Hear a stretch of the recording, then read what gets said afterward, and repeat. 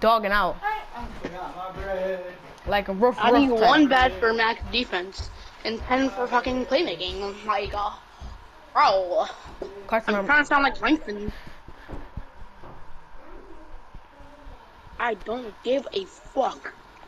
yeah, I need, I need to see Danny make a three. Like, that'd be the most coolest thing. That nigga Danny got a green animation and all that, bro. He gonna chicken up. I promise you he will. Matter of fact, I have on diamond too, don't I?